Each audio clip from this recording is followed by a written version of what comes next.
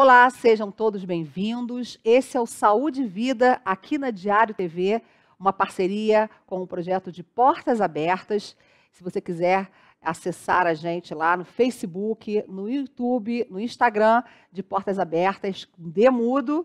E o assunto é esse mesmo, de portas abertas para todos os assuntos relacionados à saúde que muita gente tem dúvida, muita gente quer tirar. Nós trazemos os profissionais aqui para fazer um bate-papo e promover é, essa integração sobre ah, um determinado assunto, determinada doença, que hoje nós vamos falar sobre epilepsia. Epilepsia tem em março um, um dia de conscientização, que nós vamos estar falando sobre isso também. E, e com isso nós estaremos trazendo é, assuntos de saúde e bem-estar, porque com a autoestima tudo vai muito bem, não é mesmo? Então, vamos estar trazendo qualidade na informação. Gostaria de que você se sentisse à vontade com os nossos convidados, que nós vamos apresentar já já.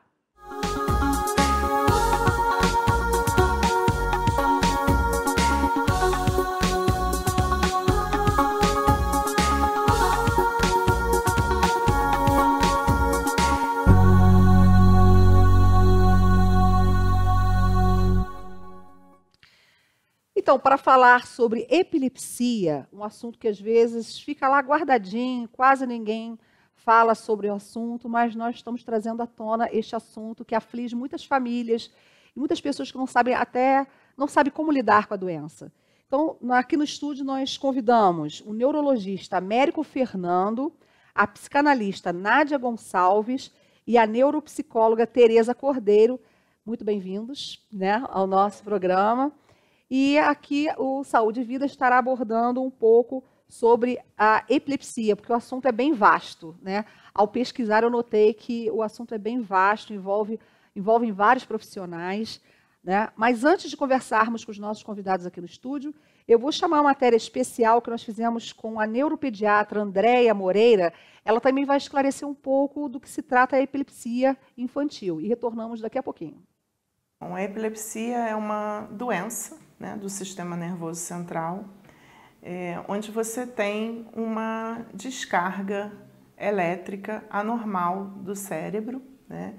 E essa descarga elétrica anormal, ela vai se manifestar clinicamente, na grande maioria das vezes, através de crises convulsivas e ou né, chamadas também crises é, epiléticas. Né? Isso acontece em qualquer época da vida, né? desde o recém-nascido até a idade, é, a terceira idade, né? o idoso, a epilepsia é uma condição que pode aparecer em qualquer época da vida. Né? É, a faixa etária pediátrica, ou seja, as crianças, ela são, é uma faixa de idade onde a epilepsia é bastante frequente, né? Porque existe toda uma questão de maturidade cerebral, né? Então esse cérebro ele ainda está é, se desenvolvendo. É, então existem epilepsias que elas acontecem só no período pediátrico. Né? É, ou até epilepsias que vão perdurar para sempre, mas que elas no período pediátrico podem ser um pouco mais graves, um pouco mais frequentes né, do que na idade adulta. Então, vimos que a criança com epilepsia, ela precisa de cuidados médicos e complementares, tanto quanto os adultos, até cuidados mais especiais ainda. É, que pode, inclusive, essa doença pode é, surgir em qualquer fase da vida, não é, doutor Américo? Exato, em, em, em qualquer fase. Até no recém-nascido, e no adulto jovem, na, na, na mulher, no idoso. Aliás, o, o, idoso é muito pouco reconhecido a epilepsia no idoso e é frequente. É, normalmente, após os 55, 60 anos de idade, é, a gente tem diagnosticado muitos pacientes com epilepsia é, dessa faixa de idade. Sem nunca ter apresentado nada Sim, na vida. Como primeira crise, inclusive Olha. nessa faixa de uhum. idade. Se a gente for conversar sobre primeira crise, é, a gente tem uma, uma, uma, um gráfico em U. Então, nos, nos primeiros anos de vida, nos primeiros dois anos de vida, você tem uma frequência alta, uhum. de epilepsia. Ela, ela vai diminuindo ao longo da vida. Após os 55, é, tem um segundo pico, que é, sobrepassa o, o da, da, criança dos primeiros dois anos de vida. Oh. E, e, e o mais interessante é que é muito pouco diagnosticado. Uhum. Para você ter ideia, é, a, a, epilepsia no idoso é considerada a terceira condição mais frequente, condição neurológica que Sim. eu estou dizendo, mais frequente no idoso. Ela perde apenas para o AVC, que é o acidente vascular cerebral, Sim. e para demência. A epilepsia vem na, em terceiro lugar, ou seja, é muito frequente e muito pouco na identificada. Frente do Parkinson, na frente de tudo. Vem, vem lá, lá, lá na frente. E lá. pouco difundido, parece é. que a família meio que isso, esconde, isso. encobre, né? É. É, e a gente, inclusive, é, precisamos porque nós andamos na rua, podemos sim. deparar com uma situação de crise, ou você na academia, ou na escola. Sim, sim. É, antigamente tinha os mitos, né, de que você tinha que desenrolar a língua, e que senão a pessoa ia engolir a própria língua, é, a pessoa acabava se machucando. E a gente ficava assim, meu Deus, eu tenho medo de encontrar alguém com epilepsia, que eu não vou saber o que fazer.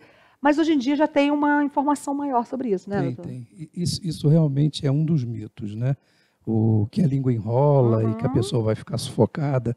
Na realidade, quando é, a pessoa tem uma, uma, uma convulsão, uhum. uma crise convulsiva, ela faz uma contratura do diafragma e ela faz uma apneia, que é uma parada transitória da respiração. No que faz a apneia, ela fica roxa. E além de ficar roxa, tem um, um travamento da mandíbula. E esse travamento da mandíbula, às vezes, ele é seguido de mordedura da língua, de um ruído é, expiratório, que vulgarmente as, as pessoas chamam de ronqueira, uhum. que é um, um ruído da, da, da, da secreção.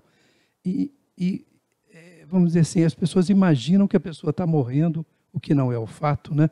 E que a língua esteja enrolando e que por a língua estar enrolando, Sim. ela está sem respiração e vai morrer. Uhum. Não é o caso o que se tem que fazer nesse momento, primeiro é proteger a pessoa, porque normalmente a pessoa passa mal de pé ou sentado e, vai ter uma queda. Uhum.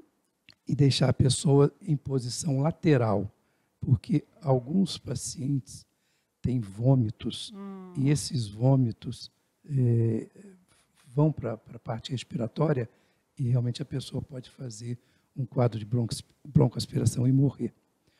Por isso que a gente tem assim um cuidado muito especial com, com, com os pacientes que têm epilepsia, principalmente numa epilepsia que predomina crises noturnas. Porque na crise noturna, se o paciente estiver em decúbito é, dorsal, ou seja, de, de barriga para cima, barriga cima. Uhum. E, e, tem pacientes que só têm crises noturnas. Tem, tem outros que têm noturnas e diurnas mas existe um, um grupo que só tem crises noturnas.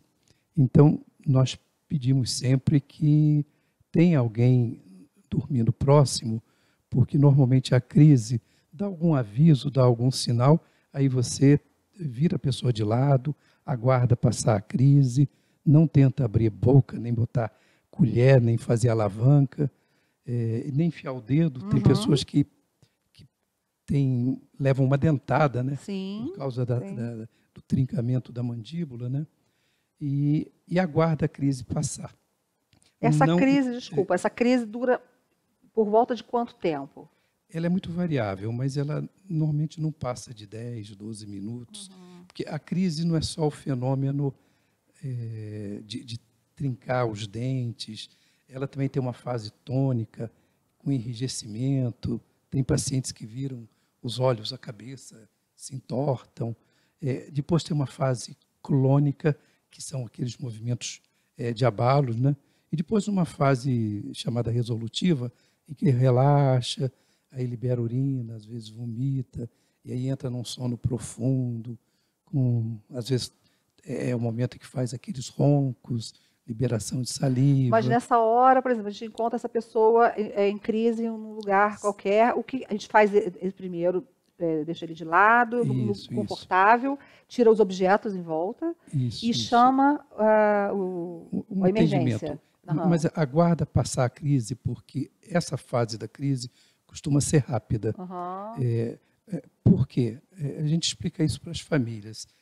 É, Às vezes a pessoa está entrando em crise, sai correndo de carro, sofre um acidente, morre todo mundo. Uhum. É, é porque todo mundo fica apavorado. Imagina alguém dirigindo com, com alguém em crise. Tu fala assim, calma, Sim, tem que esperar primeiro. espera que a crise vai passar. Aham. Depois que ela, que ela tiver cessado, coloca.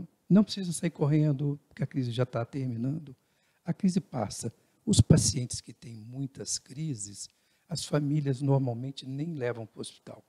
Eles aguardam a- Já a sabem crise, como, como dão um reforço proceder. da medicação, Aham. ou ligam para o neurologista ou para o seu médico, pegam alguma orientação. É, agora, a, a recomendação de, de ir para o hospital é quando há crises repetitivas, né, chamadas crises subentrantes, né, crises que é, um- uma termina, a outra já está em sequência. Mas, Isso- por exemplo, a é pessoa está gravidade. sozinha na rua, não tem nenhum familiar por perto. Aí, nesse caso, cha- chamaria a emergência. É, tem que chamar, Aham. tem que chamar. Porque até a emergência chegar, a, Ele crise, já- a crise já cessou. Aham. Aí você faz a proteção, né? Deixar num lugar seguro, Uhum. proteger a cabeça, porque às vezes durante a crise a pessoa fica fazendo aqueles movimentos Ah, e bate com a sim. testa no chão, Coloca um casaco É, bota dobrado, um alguma casaco. coisa. deixa de lado, entendeu? Então, outra, outro mito que o pessoal pensa que epilepsia, epilepsia é uma doença mental. E não tem É. nada com isso, né? É, ela, ela é uma doença do, do sistema nervoso, mas tem aspectos da epilepsia que, que lembram quadros mentais. Por exemplo, tem crises que no, no- no início da crise a pessoa tem o que a gente chama de aura. Aura é o início da crise, né? Tem pacientes que têm aura fóbica, com medo, com mudança de comportamento, com agitação, com inquietude e depois desmaiam, porque existem vários tipos de, de sintomas, inclusive sintomas psíquicos. Eles são é, relativamente frequentes nas crises. E é verdade que os pacientes com epilepsia devem evitar dirigir? Bem, há uma recomendação para isso. É, por exemplo, no- nos Estados Unidos, isso logicamente depende de cada, cada estado, as- é, o, o portador de, de- de epilepsia, é, a pessoa, vamos supor que tenha tido uma primeira crise convulsiva ou uma segunda crise convulsiva. O médico, o neurologista, ele é obrigado a comunicar o serviço de trânsito.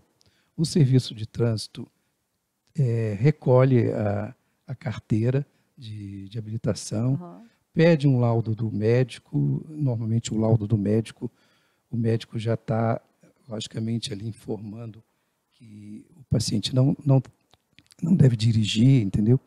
E aí eles retêm a carteira de habilitação e pedem que a cada três meses a pessoa traga um laudo para comprovar que ele está sendo visto pelo médico e, principalmente, comprovar que ele está sendo medicado. Sim.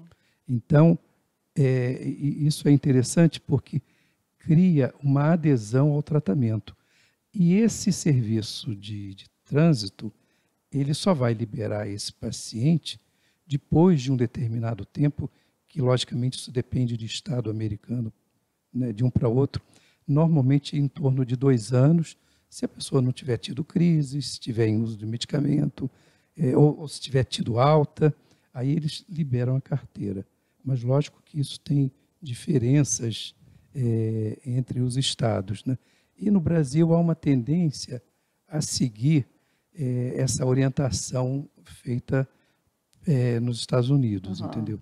Tanto é que agora no Detran você é obrigado a, a descrever num documento as, as patologias que você tem, o tipo de é, remédio? o tipo de remédios, etc. Porque se tá, você tá, toma uma medicação que também pode dar um tipo de alteração, uma sonolência, alguma coisa assim, né? Isso, Sem isso, ser a isso, epilepsia, né?